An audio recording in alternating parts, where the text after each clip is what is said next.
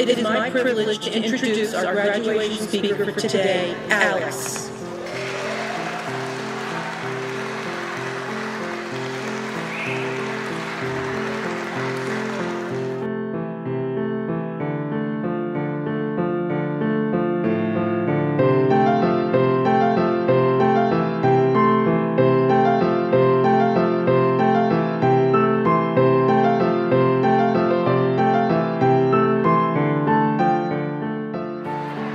Morning, staff, students, and families.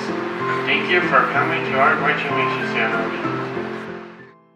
I do remember him as a very small boy, almost nonverbal, at one of our tricky trays back at the old school, um, where we used to actually put tickets in coffee cans, and he just would run around the gymnasium. Um, very I felt very a lot of different emotions when Alexander left here and graduated.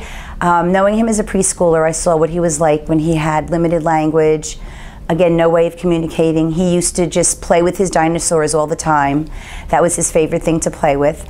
And just to see him throughout the years first learn to speak, just to tell us what he wants, and then learn to speak, to have conversations with us, and tell us things that he did over the weekend, things he wanted to do in school, and then to hear that he was working and driving was really um, a good feeling to know that I took part in that. And I felt a lot of pride, and I also felt a lot of sadness at him going. When he first started, he was virtually nonverbal. Um, and his speech was challenging to understand. So I think he became anxious about talking to other people and interacting. I wasn't sure he would ever be able to be as independent as you know a typical adult. I wasn't sure he'd be able to drive himself and get to a job and work full time. And then when I went to the movie several weeks ago and he was actually the person to take my ticket, I felt that flood of emotion all over again. So.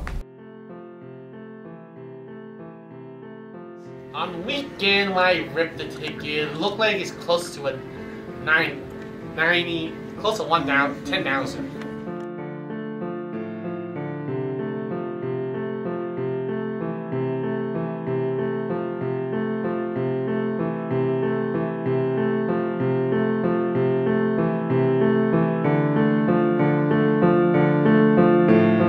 I was really sad to see him leaving.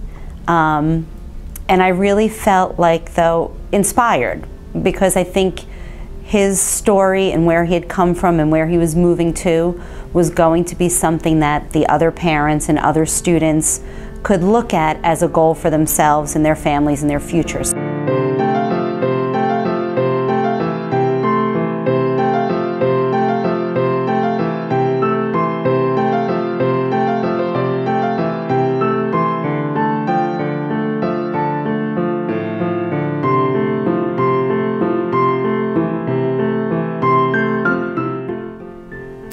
I say don't be like me, just be yourself.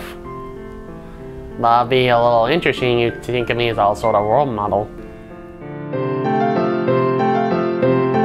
He's the first student we have here at TCI that spent his whole school career here with us.